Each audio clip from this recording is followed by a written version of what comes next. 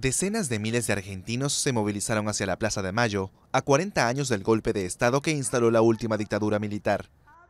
El tono dominante de los actos fue opositor al presidente Mauricio Macri, a cuya familia atribuyen haberse enriquecido con la dictadura y a quien también adjudican implantar una política económica similar a la de los generales del régimen.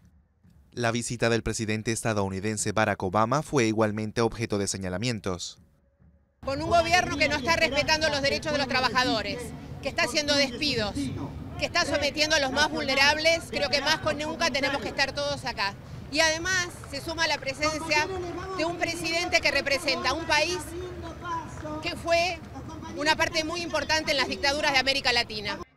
Los participantes rindieron homenaje a millares de muertos y desaparecidos, con los pañuelos blancos de las madres y abuelas de Plaza de Mayo a la cabeza del acto.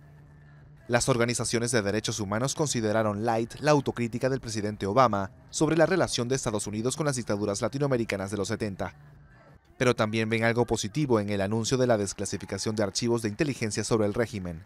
Si sirve para aclarar, para sumar esclarecimiento en los juicios que se están llevando adelante, me parece que lo más importante, como dice el cartel, es que los juicios continúen y se lleguen a condena a los responsables, pero no solo militares, responsables eclesiásticos, responsables civiles.